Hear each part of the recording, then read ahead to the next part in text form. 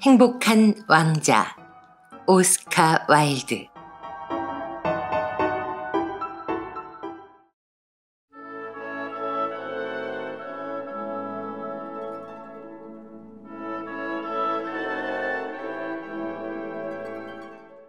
도시가 한눈에 내려다 보이는 높은 곳, 높은 기둥 위에 행복한 왕자 조각상이 서 있었다. 행복한 왕자는 온몸이 최고급 금박으로 둘러싸이고 눈에는 반짝이는 사파이어 두 개가 손에 쥔 칼자루에는 커다란 붉은 루비가 빛나고 있었다. 행복한 왕자는 모든 사람들의 존경을 받았다. 한 유명한 시의원은 예술적 취향을 뽐내려고 이렇게 말했다. 마치 풍향계의 새처럼 아름답구나. 그러고는 사람들이 자신을 현실적이지 않다고 생각할까봐 이렇게 덧붙였다. 물론 뭐 그렇게 유용하지는 않지만. 무엇이든 사달라고 졸라대는 아이에게 현명한 어머니는 말했다.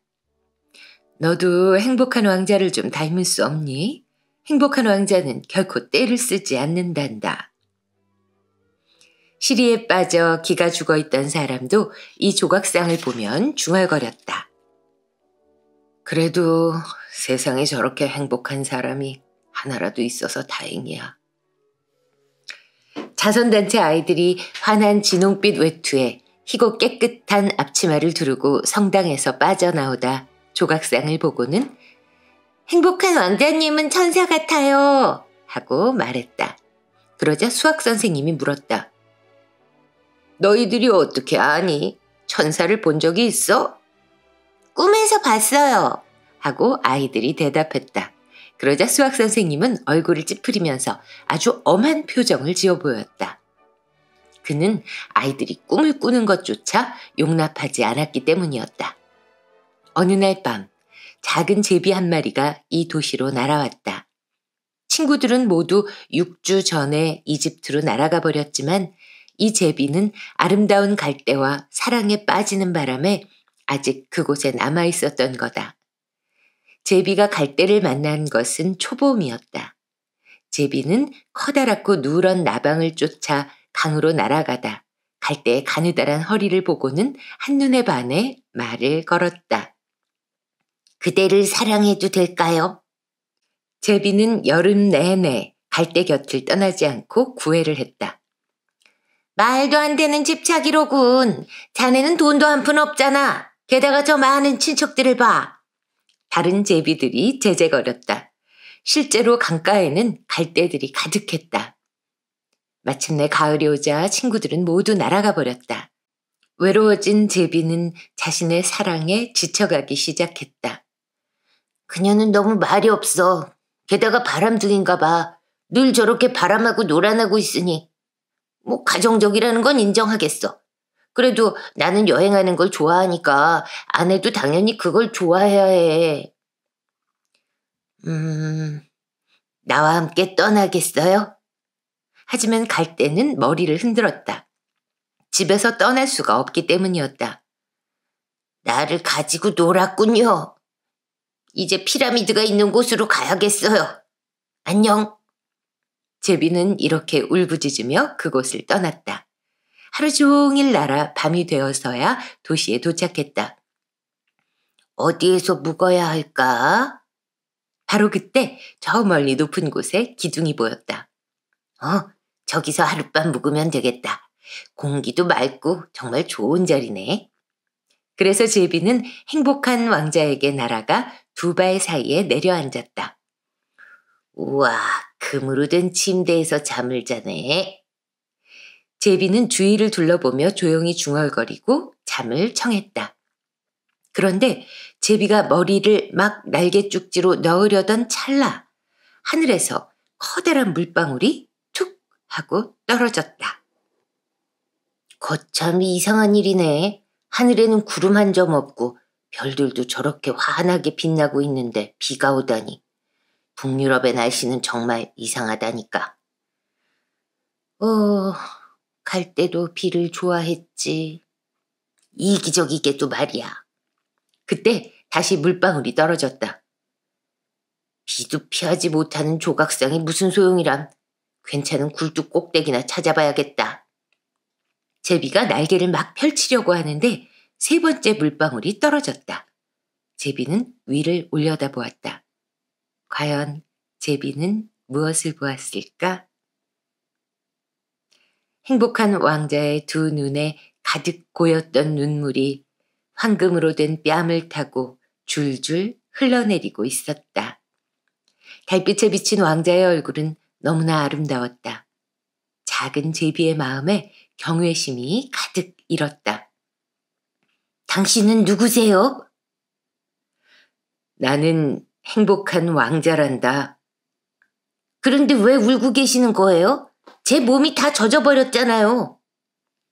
내가 살아있을 때, 인간의 마음을 가지고 있었을 때는 진짜 눈물이 뭔지 몰랐어.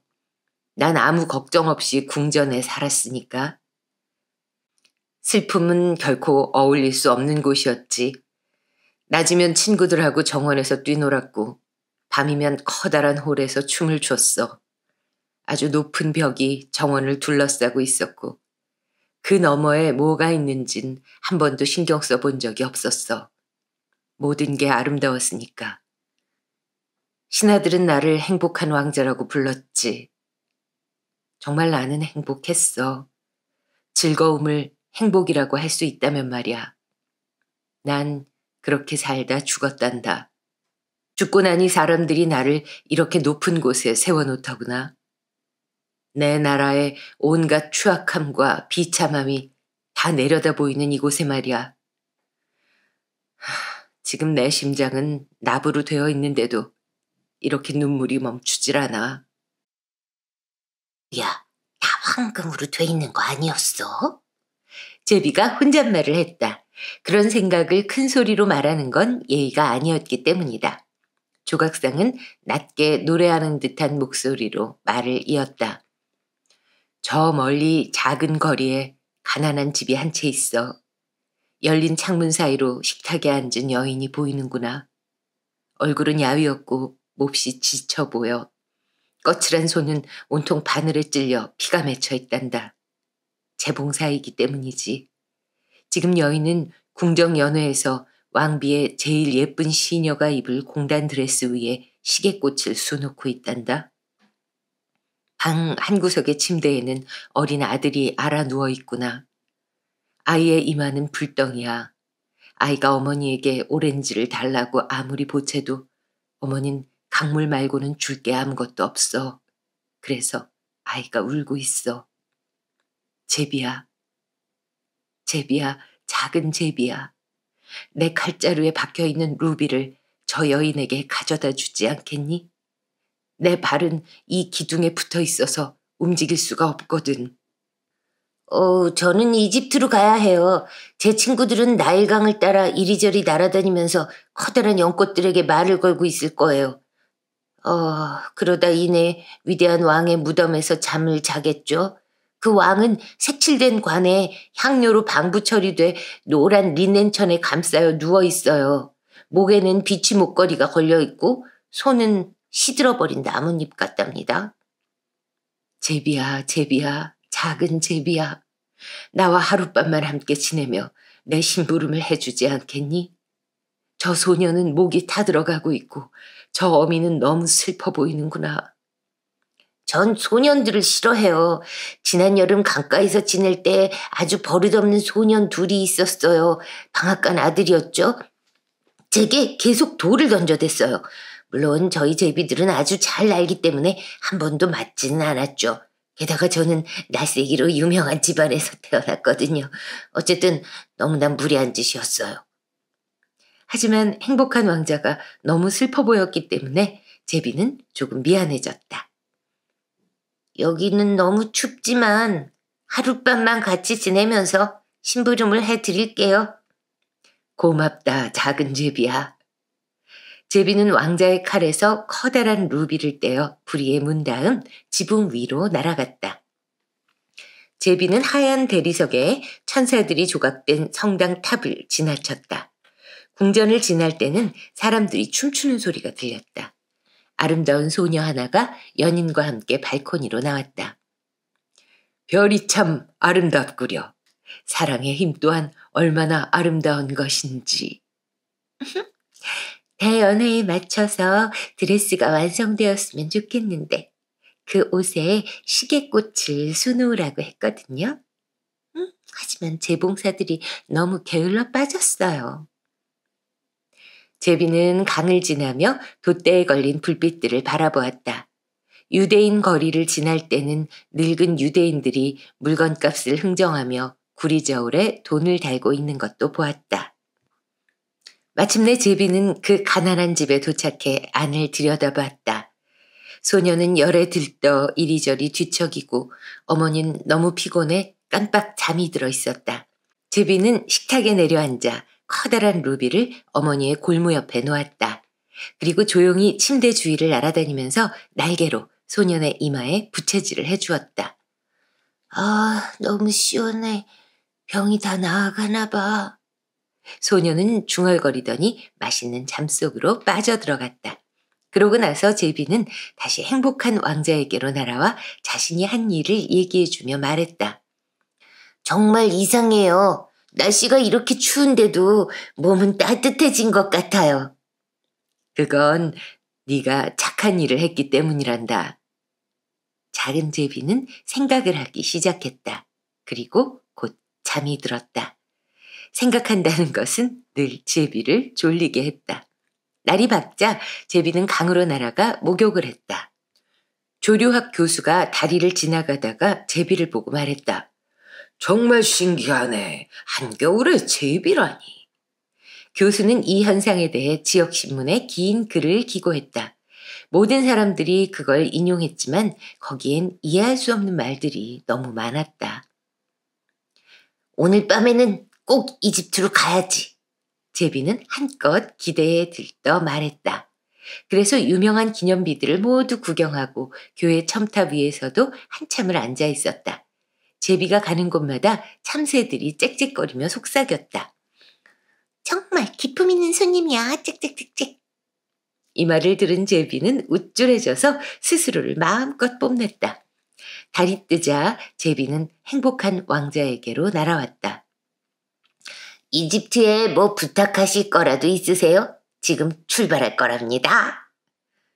제비야, 제비야, 작은 제비야. 하룻밤만 더 나와 함께 있지 않겠니? 저는 이집트로 가야 해요. 내일이면 친구들은 나일강 제2폭포로 날아갈 거예요.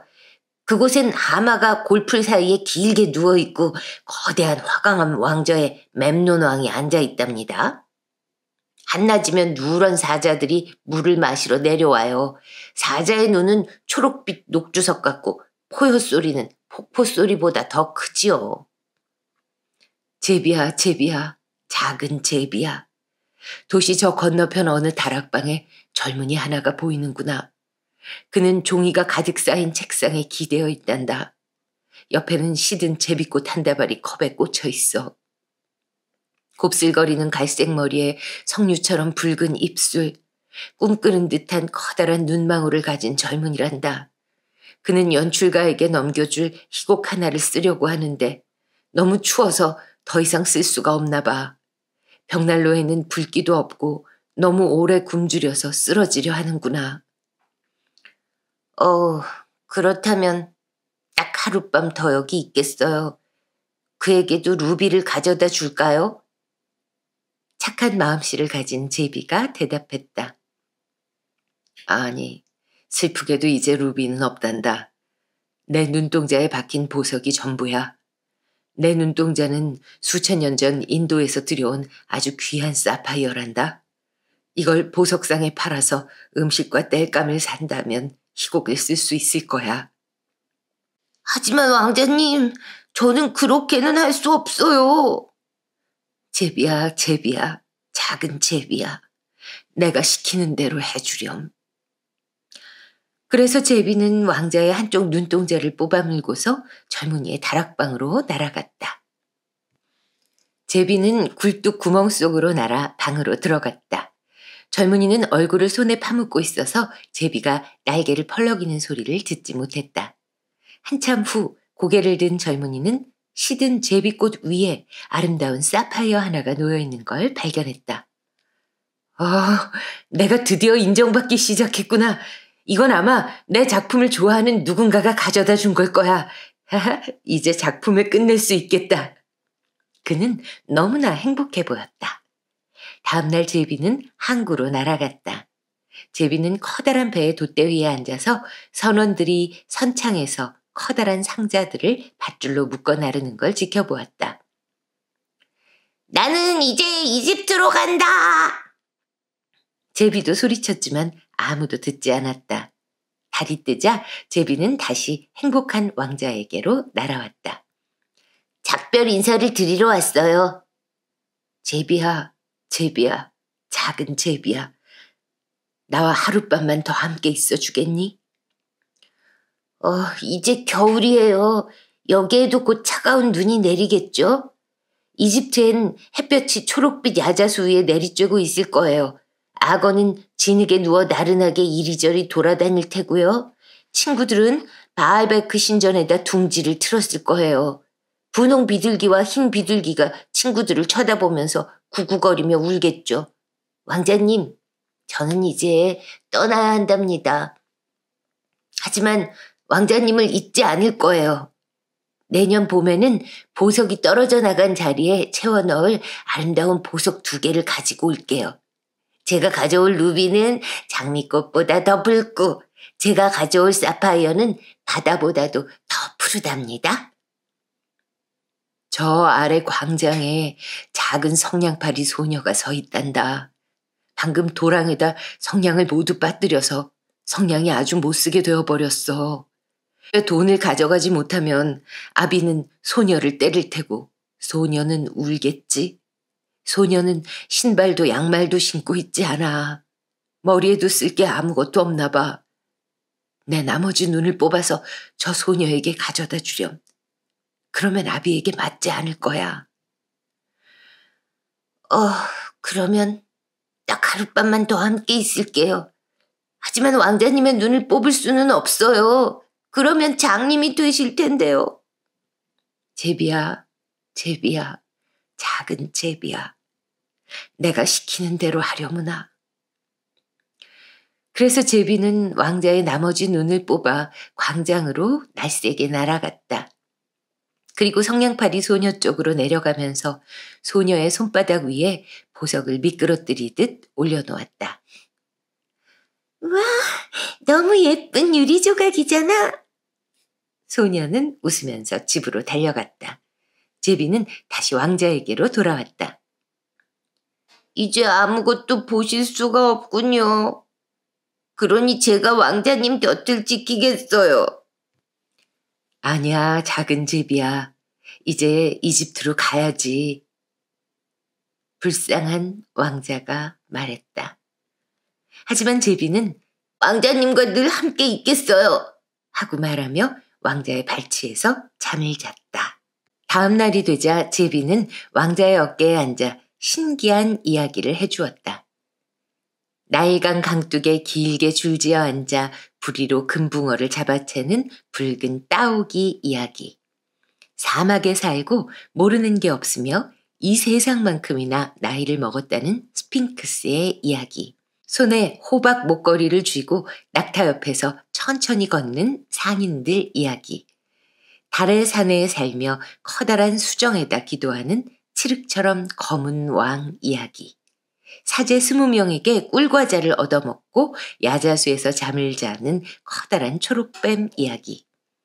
커다랗고 평평한 나뭇잎을 타고 거대한 호수를 건너가면서 나비들과 늘 전쟁을 치르곤 한다는 피그미족 이야기 같은 것들이었다. 그러자 왕자는 말했다. 작은 제비야, 너는 신기한 이야기를 많이 알고 있구나. 하지만 세상에서 가장 신기한 건 사람들이 겪는 고통이란다. 비참한 만큼 놀라운 것은 없어. 작은 제비야, 이 도시를 날아다니면서 네가 본 것들을 이야기해 주렴. 그래서 제비는 그 커다란 도시를 날아다녔다. 부자들이 아름다운 집에서 즐겁게 지내는 것도 보았고, 거지들이 그 집 앞에 앉아 구걸하는 것도 보았다. 제비는 어두운 거리로 날아들었다. 창백한 얼굴에 굶주린 아이들이 시커먼 거리를 무심하게 내다보고 있었다. 다리 밑에는 작은 소년들이 서로 팔을 베고 누워 몸을 덮이고 있었다. 너무 배고파. 아이들이 말했다. 하지만 경비원이 나타나 여기에서 자면 안 돼! 하고 소리치자 아이들은 빗속으로 나와 이리저리 헤매고 다녔다. 제비는 다시 왕자에게 날아와 본 것들을 이야기해 주었다. 내 몸은 최고급 금으로 덮여 있어. 금박을 한 장씩 벗겨내 가난한 사람들에게 나누어 주렴. 산 사람들은 금만 있다면 행복하다고 생각한단다. 제비는 금박을 한 장씩 떼어냈다. 그러자 결국 행복한 왕자는 흐릿하고 우중충해졌다. 제비는 한 장씩 떼어낸 최고급 금박을 가난한 사람들에게 가져다 주었다. 아이들의 얼굴에는 점점 홍조가 돌았고 거리에서 놀이를 하며 웃음을 터뜨렸다. 이제는 먹을 게 있어! 아이들은 소리쳤다. 그때 눈이 내렸다. 눈이 내리자 서리가 뒤따랐다. 거리는 마치 은으로 만든 것처럼 환하게 반짝였다. 처마마다 기다란 고드름이 수정으로 만든 단검처럼 매달렸고 사람들은 모피를 입고 돌아다녔다. 작은 소년들은 진홍색 모자를 쓰고 얼음 위에서 스케이트를 탔다. 불쌍한 작은 제비는 추위에 점점 더 몸이 오그라들었지만 왕자 곁을 떠날 수는 없었다. 제비는 왕자를 너무 사랑했던 거다. 제비는 빵 굽는 사람이 보지 않는 틈을 타서 문밖에 떨어진 빵 부스러기를 주워 먹었다. 그리고 날개를 파닥거려 몸을 따뜻하게 해보려 했다. 하지만 마침내 제비는 자신의 목숨이 다했다는 것을 깨달았다. 제비에겐 이제 기껏해야 왕자의 어깨 위로 날아오를 힘밖에 남아있지 않았다. 제비가 작은 목소리로 중얼거렸다. 안녕히 계세요, 왕자님. 왕자님 손에 입 맞춰도 될까요? 이제야 결국 이집트로 간다니 기쁘구나, 작은 제비야. 여기 너무 오래 있었어. 사랑하는 제비야. 이제는 내 입술에 입을 맞추려나. 제가 가는 곳은 이집트가 아니에요. 전 죽음의 집으로 간답니다. 죽음은 자매 형제니까요. 그렇지 않나요? 그러고 나서 제비는 왕자의 입술에 겨우 입을 맞추고는 발 아래로 툭 떨어져 숨을 거두었다. 그 순간 쩍 하고 부서지는 소리가 조각상 안에서 들려왔다. 나부로 된 왕자의 심장이 두 동강 나버린 것이다. 차가운 서리가 무섭게 내린 날이었다. 다음날 아침 일찍 시장이 시의원 둘과 함께 광장을 걷다가 기둥 옆을 지나가며 조각상을 올려다보았다. 맙소사, 행복한 왕자가 저렇게 초라해 보이다니 거지와 다를 바가 없네. 맞습니다. 거지와 다를 바가 없습니다.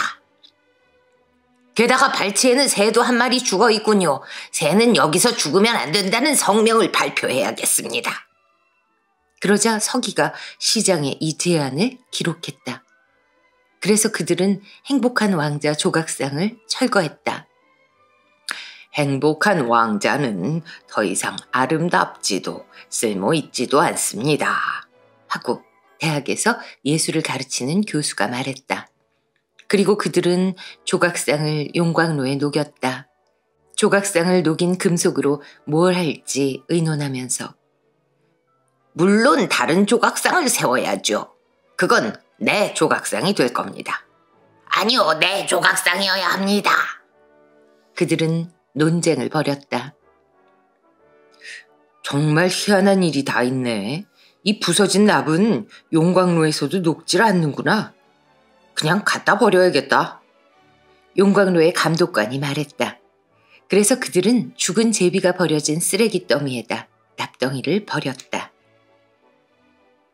마침 그때 하나님이 천사 하나를 불러 이렇게 말했다. 저 도시에서 가장 귀한 것 두 가지를 가져오너라. 천사는 납으로 된 심장과 죽은 제비를 가지고 왔다. 그러자 하나님이 말했다. 잘 골라왔노라. 이제 이 작은 새는 내 천국의 정원에서 영원히 노래할 것이며 행복한 왕자는 내 황금의 도시에서 영원히 행복할 것이로다.